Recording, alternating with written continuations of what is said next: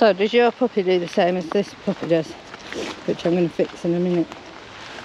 So he's sat because he knows that's what I want. Sometimes I have to tell him.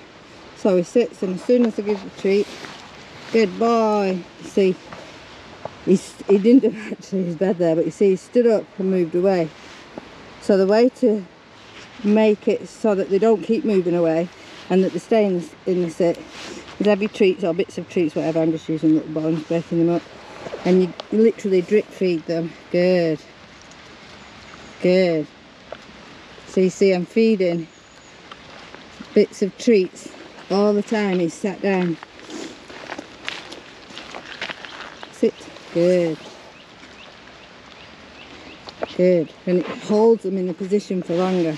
Now what he's doing is looking for every single crumb, which ideally I would want him not to bother about every single crumb and be looking back at my hand, but as it was at that time, I'd run out in the hand.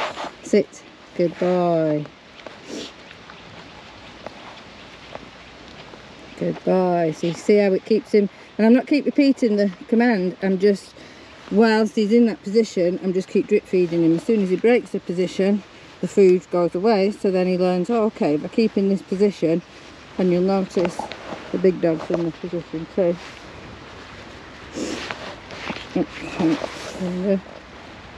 Good. Good boy.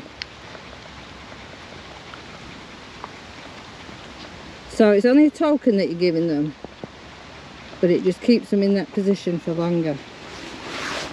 And then you get it so that when you stay in position, like him, he keeps in it. Freak! Good boy! And I release him by giving him a different command or the, the release command which is free.